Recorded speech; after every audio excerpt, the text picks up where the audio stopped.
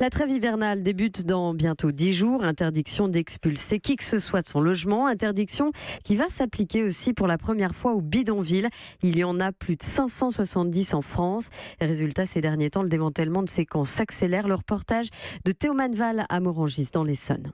Les pelleteuses rasent ce qui reste des cabanes en bois. En une matinée hier, ce sont trois campements qui ont été démantelés dans le département de l'Essonne. Et depuis le mois de juillet, 4600 personnes évacuées dans tout le pays.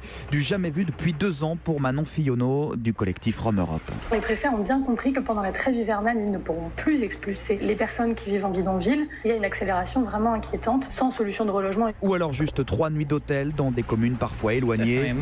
Costine sa tristesse, sa souffrance et sa colère. Il se retrouve loin de l'entreprise, du bâtiment qui l'emploie, loin de l'école où sa fille vient d'être acceptée cette semaine. À l'association Intermède Robinson, Yasmina dénonce les tentatives d'insertion ruinées.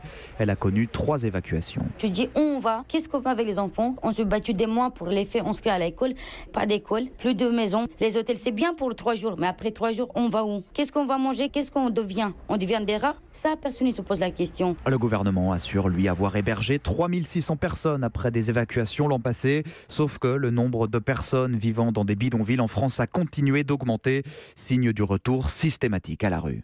Théo Manval pour Europe 1.